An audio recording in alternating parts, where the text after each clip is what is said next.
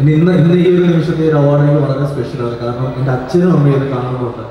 സാധാരണ എവിടെ പോയാലും അവരെ അധികം വരാറില്ല. പക്ഷേ ഇന്ന് ഇന്നത്തെ ദിവസം ഒരു വലിയ പ്രത്യേകതയുണ്ട്. കാരണം കഴിഞ്ഞ പത്ത് പതിനാല് വർഷങ്ങളായി ഈ ഒരു ദിവസം ലോകത്ത് എവിടെയാണെങ്കിലും ഞാനും എന്റെ കുടുംബവും പത്തനംതിട്ട ജില്ലയിലെ കോന്നി എന്ന് പറയുന്ന സ്ഥലത്ത് അറിയാം മറ്റൊന്നുമല്ല എന്റെ ചേട്ടൻ മരിച്ചുപോയി. അദ്ദേഹത്തിന്റെ ഓർമ്മയ്ക്കായി ഞങ്ങൾ എല്ലാ വർഷവും കുറച്ച് കുട്ടികൾക്ക് കുട്ടികൾക്ക് പഠിക്കാൻ സഹായം ചെയ്യുന്നുണ്ട് അപ്പോൾ ഇന്നത്തെ ദിവസം ഞങ്ങൾ മാളിയപ്പുറം ടീം എല്ലാവരും പത്തനംതിട്ട സ്കൂളിൽ നിന്നാണ് ഇങ്ങോട്ട് വരുന്നത്. ഇന്ന് ആ ഞാൻ പഠിച്ച സ്കൂളിന്റെ നൂറാം വാർഷികവുമായിരുന്നു. ആ വേദിയിൽ ചീഫ് ഗസ്റ്റായിട്ട് ഞാൻ ഉണ്ടായിരുന്നു. എന്റെ അമ്മ ഞാൻ പ്രസംഗിക്കുന്ന കാണുമ്പോൾ കണ്ണ് നിറഞ്ഞ് കരയുന്നത് ഞാൻ സ്റ്റേജിൽ നിന്ന് കണ്ടിരുന്നു. ആ അമ്മയ്ക്ക് ഇന്ന് ഇവിടെ ഇത് ഈ ഒരു അവാർഡാണെന്ന് അറിയില്ലായിരുന്നു.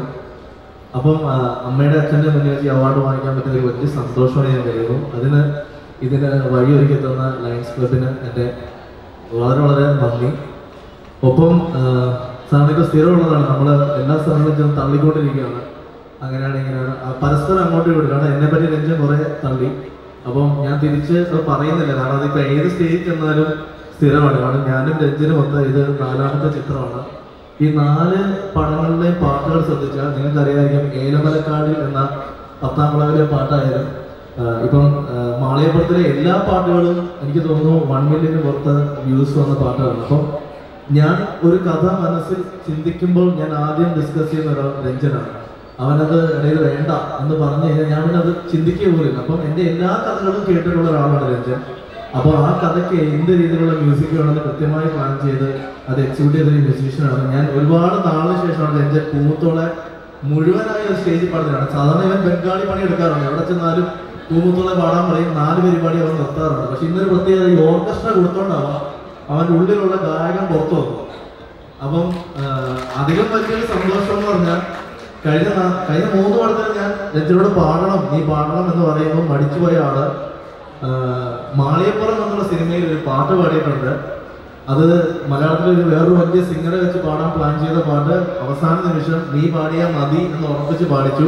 ഇന്ന് മലയാളത്തിലെ ഏറ്റവും ട്രെൻഡിങ് സോങ് അത് തന്നെയാണ്. നങ്ങേരി പോ എന്നുള്ള പാട്ട്. സത്യത്തിൽ അത് പാടുമെന്നാണ് ഞാൻ കരുതിയത്. പക്ഷെ ആരോ വിളിച്ച് പറഞ്ഞത് കാരണം മൂത്തളെ പാടി. പക്ഷെ കുഴപ്പമില്ല. അവൻ വേണമെങ്കിൽ അതും കൂടെ പാടും കുറച്ച് കഴിഞ്ഞിട്ട്.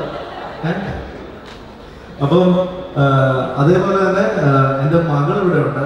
അവൾ ഈ പടത്തിന്റെ ടൈറ്റിൽ സോങ് വിനീത് ശ്രീനിവാസോടൊപ്പം പാടിയിട്ടുണ്ട്. അപ്പം ഈ അവാർഡ് നിനക്കൂടെ ഉള്ളതാണ്. അപ്പം നിനക്ക് സ്പെഷ്യലായിട്ട് തരണം.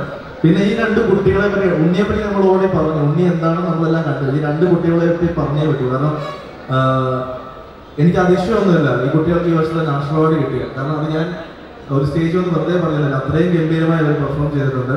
അതിനേക്കാൾ നന്നായി അഭിനയിക്കാൻ അറിയാൻ കാരണം ഈ അവാർഡ് വാങ്ങിക്കാൻ വരുന്നത് നമുക്ക് അറിയാറില്ല പക്ഷേ അവാർഡ് ഡിക്ലെയർ ചെയ്തപ്പോൾ സ്റ്റേജിൽ കാണിച്ചൊരു എക്സൈറ്റ്മെന്റ് കണ്ടപ്പോൾ എനിക്ക് മനസ്സിലായി. എന്ത് ഗംഭീരമായിട്ടാണ് അഭിനയിക്കുന്നത്. അപ്പം ഒരുപാട് സന്തോഷം. കാരണം ഞങ്ങളെ ഇങ്ങനെ ഒരു വേദിയിലേക്ക് വിളിപ്പിച്ചതും അല്ല ഇത് തമാശ പറയുന്നതല്ല. കാരണം ഇവരെ വെച്ച് ഷൂട്ട് ചെയ്യുമ്പോൾ സലിമേട്ട ഏറ്റവും വലിയ പ്രശ്നം ആലോചിക്കുന്നത് ശബരിമലയിലാണ് ഷൂട്ട് സാധാരണ അറിയാമല്ലോ നമ്മൾ കഷ്ടപ്പാടുന്നത് വൈകുന്നേരം അഞ്ച് മണിക്ക് ഷൂട്ട് കിടന്നു ആ കാട്ടിൽ ആന ഇറങ്ങുന്നത് പറയും പിറ്റേ ദിവസം രാവിലെ എട്ട് മണിക്ക് പോയി ആനപ്പിള്ള കാര്യങ്ങളിലാണ് റൈറ്റർ അടക്കമുള്ള എന്റെ ജോലി. ഞങ്ങൾ എല്ലാവരും ചേർന്നിട്ടാണ് ടീമാണ് വർക്ക് ആ, ഒപ്പം ഇവിടെ എത്തിച്ചേർന്നതിൽ ആൽഫി ഇപ്പോഴത്തെ അമ്മയുടെ അഭിനയിച്ചിട്ടുണ്ട് ഗംഭീര പെർഫോമൻസ് ചെയ്തിട്ടുണ്ട്.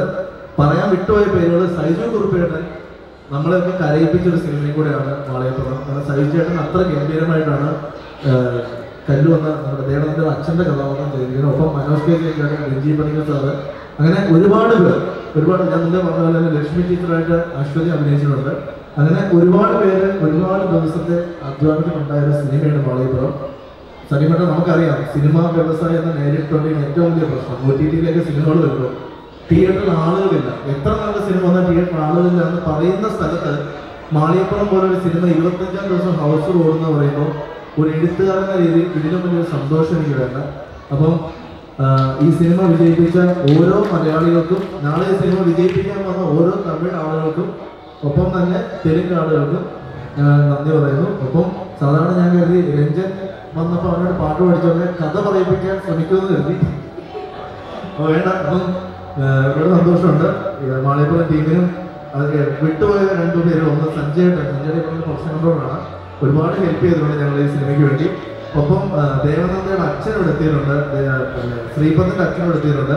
ശരിക്കും ഈ രണ്ട് അച്ഛന്മാർക്ക് വലിയൊരു കൈഡ് കൊടുക്കണം. കാരണം ആ ശബരിമല ആയതുകൊണ്ട് തന്നെ ഒരുപാട് റെസ്ട്രിക്ഷൻസ് ഉള്ള സ്ഥലത്ത് ഈ രണ്ട് അച്ഛന്മാരാണ് ഈ രണ്ട് കുട്ടികളുടെ കൂടെ അമ്പത് ദിവസം ഉണ്ടായിരുന്നത്. വലിയ താങ്ക്സ് ഉണ്ട്.